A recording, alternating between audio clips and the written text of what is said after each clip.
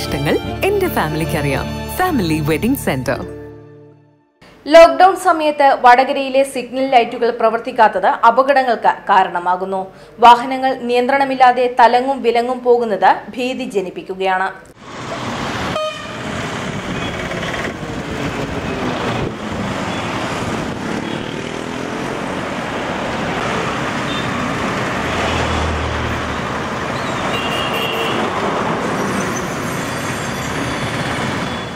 വാഹനയാത്രക്കാർക്ക് മാത്രമല്ല കാൽനടയാത്രക്കാർക്കും ഇത് വലിയ ബുദ്ധിമുട്ടാണ് ഉണ്ടാക്കുന്നത്.